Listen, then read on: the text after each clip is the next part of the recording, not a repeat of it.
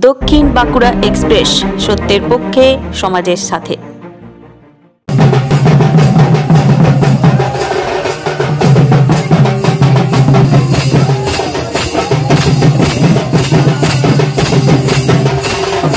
চুয়ার বিদ্রোহের মহানায়ক বীর শহীদ বিপ্লবী রঘুনাথ মাহাতোর পূর্ণাবয়ব মূর্তি স্থাপন উপলক্ষে ভূমিপুজো ও ভিত্তিপ্রস্তর স্থাপন হল।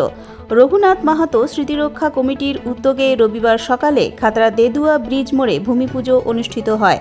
ভূমিপুজো উপলক্ষে বিভিন্ন আদিবাসী কুরমালির সাংস্কৃতিক অনুষ্ঠানের আয়োজন ছিল। খাতড়া মহকুমার বিভিন্ন শিল্পীগোষ্ঠীরা এদিন আদিবাসী পাতা নাচ পরিবেশন করেন। ছিল পঙ্ক্তিভোজের ব্যবস্থাও। উপস্থিত বিশিষ্ট জনেরা বিপ্লবী রঘুনাথ মাহাতোর বিভিন্ন কর্মকাণ্ডে স্মৃতিচারণা করেন। উদ্যোক্তাদের পক্ষ থেকে জানানো হয়, আগামী পাঁচই এপ্রিল রঘুনাথ মাহাতোর পূর্ণাবয়ব মূর্তি স্থাপন হবে। এদিন ভূমি পুজোও হয়। পুজো করেন স্থানীয় কুর্মী সমাজের লায়া অজিত মাহাতো। ভিত্তিপ্রস্তর স্থাপন করেন বিশিষ্ট সমাজকর্মী তথা বাঁকুড়া বিশ্ববিদ্যালয়ের শিক্ষিকা অঞ্জনা মাহাতো।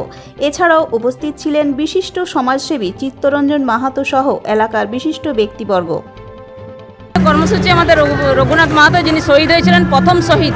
যিনি স্বাধীনতা সংগ্রামে ইংরেজদের বিরুদ্ধে যিনি লড়াই করেছিলেন এবং প্রথম শহীদ হয়েছিলেন সেই শহীদের আজকে আমরা একটা মূর্তি উন্মোচন করব। সেই মূর্তি উন্মোচনের আগে আমাদের ভূমি পূজা হচ্ছে। আজকে আজকে ভূমি পূজার আমাদের সূচনা হলো। ভূমি পূজা আমাদের কুর্মী সমাজের আহ, মানুষজনই আমরা লায়া। উনি অজিত মাহাতো। উনি প্রতি- উনি পূজা পার্বণের মাধ্যমে আমাদের ভূমি পূজা উদ্বোধন হয়েছে এবং আমাদের পাঁচই এপ্রিল আমরা আবক্ষ মূর্তি উন্মোচন করব। পূর্ণাঙ্গ মূর্তি। এখানে আমাদের সাংস্কৃতিক চর্চা চলছে এবং আমাদের যিনি স্বাধীনতা সংগ্রামী প্রথম চুয়ার বিদ্রোহে যিনি নেতৃত্ব ছিলেন আমাদের স্বর্গীয় রঘুনাথ মাহাতো মহাশয়ের যে স্মৃতিচারণ, সেই স্মৃতিচারণ এবং ওনার যে ইতিহাস, সেই ইতিহাস আমাদের কোনো ইতিহাস বইতে নেই।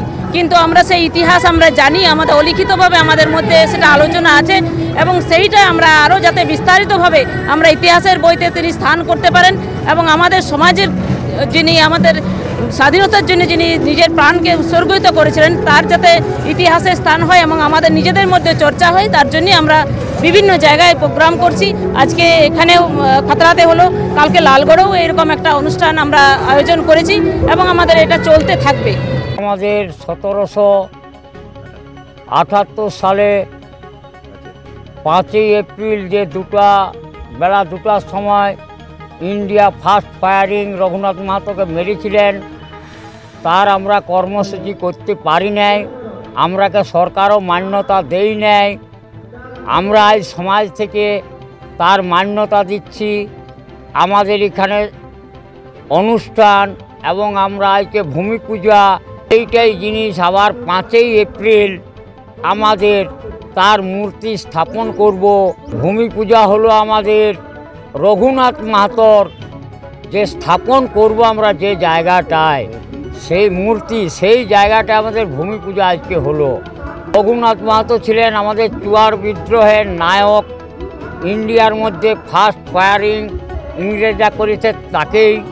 অথচ দুঃখের বিষয় আমাদের সরকারিভাবে তার কোনো ইতিহাসে বা তার কোনো মান্যতা দেওয়া হয় নাই, এটা কিন্তু খুব দুঃখজনক। কিন্তু আমরা নিজেরা সমাজ থেকে সামাজিকভাবে আমরা তার প্রতিষ্ঠিত করছি এবং তার মূর্তি বানাচ্ছি এবং আজকে সেই বিশেই মার্চ ভূমি পূজাকরণ করছি। তারপরে আমরা পাঁচই এপ্রিলে তার মূর্তি স্থাপন করে অনুষ্ঠিত করব এবং আয়োজন করব। পূর্ণাঙ্গ মূর্তি পাঁচই এপ্রিল আমরা স্থাপন করব। এইটাই আমাদের কাম্য।